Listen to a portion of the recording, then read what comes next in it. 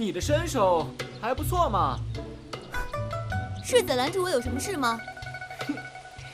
你是今年的第一，我呢就对第一感兴趣。不如我们来比划比划，你看今天怎么样？还是不了吧，学院禁止私下约战。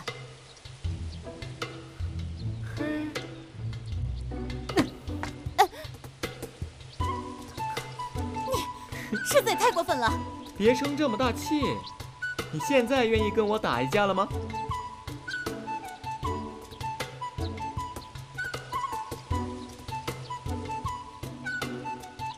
阿寿，有你这么说话的吗？哎，阿姐，县主，随便违反学院规定可是会被罚的。我当然知道了，又不是我招惹的他，为什么对我说这个？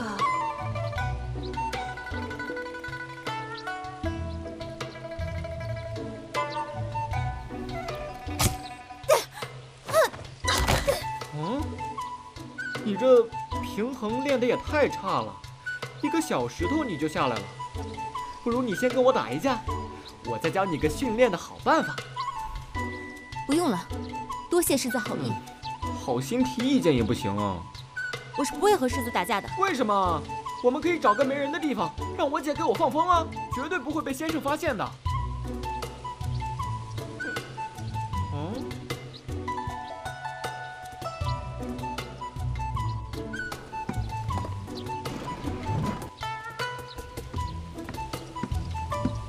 我不知道什么地方得罪了您和世子，您可以提示我吗？为什么这么说？如果我没有得罪您和世子，那为什么世子总是找我的麻烦？啊，我知道了，我这就去说他，让他不要再找你打架，行不行？那就希望县主说到做到了。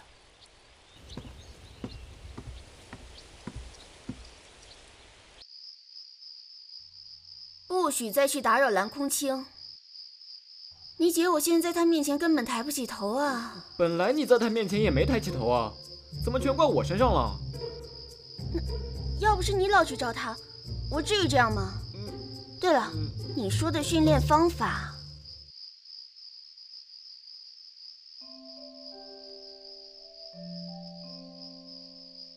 在下有个法子，可以解决县主的问题。什么方法？说来听听。阿少，他其实只是想和蓝姑娘做朋友罢了。这是想做朋友？只要能说动蓝姑娘来，以后县主就不会夹在他们两个之间，左右为难了。你，你确定吗？我只需要劝说他就行了吗？怎么觉得这办法有哪里怪怪的？办法有没有用，一试便知。在下相信，县主可以做到。我我尽量试试。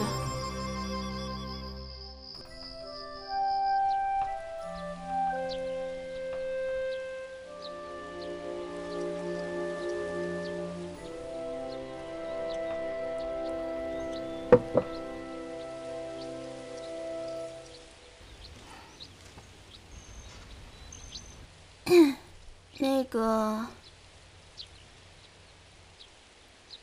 县主想必是有好消息告诉我了，比如世子不会再来找我麻烦之类的。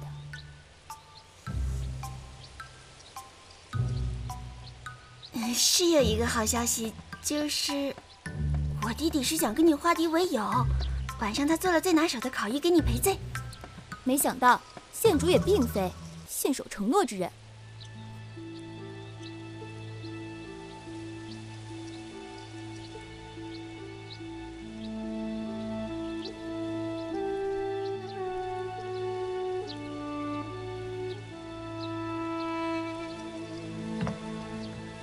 蓝姑娘，李公子世家大族，也会来做说客。蓝姑娘聪慧，若是不与赫连姐弟交好，恐怕在这书院里也难以安心学习。学院之事，权贵岂可干涉？还是说李玉公子也向名利卑躬屈膝了？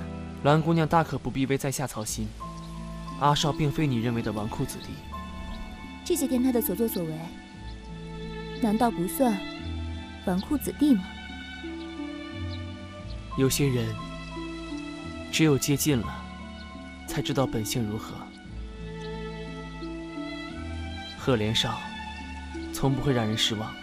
前些天的闹市纵马伤人案，就是阿少崔彻将犯人捉拿归案的。虽然因此违反了院规，但也由此可见赤子之心。蓝姑娘以为呢？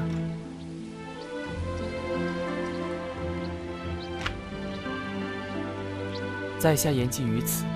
今晚小宴，还请蓝姑娘拨容出席。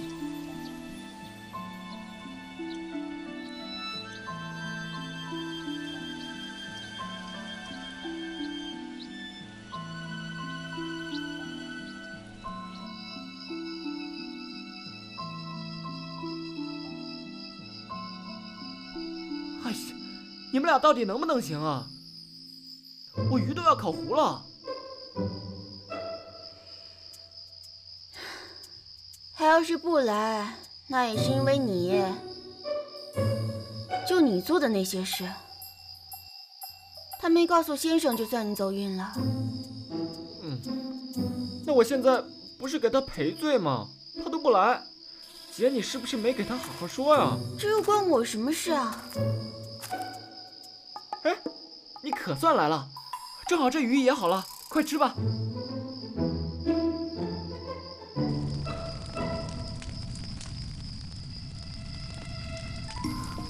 吃呀！你不是最喜欢吃烤鱼吗？看我干嘛？竟然和我梦里的一模一样。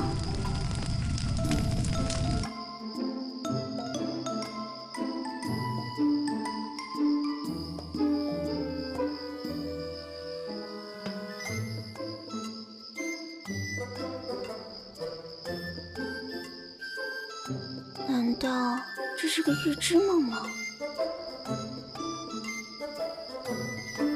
难道蓝空清将来会和阿少在一起？不会吧？你在做什么？还睡不睡了？睡，马上就睡，我不打扰你了。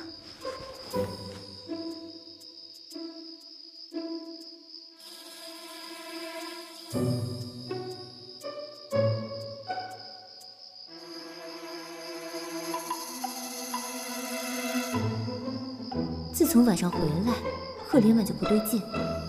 他想干嘛？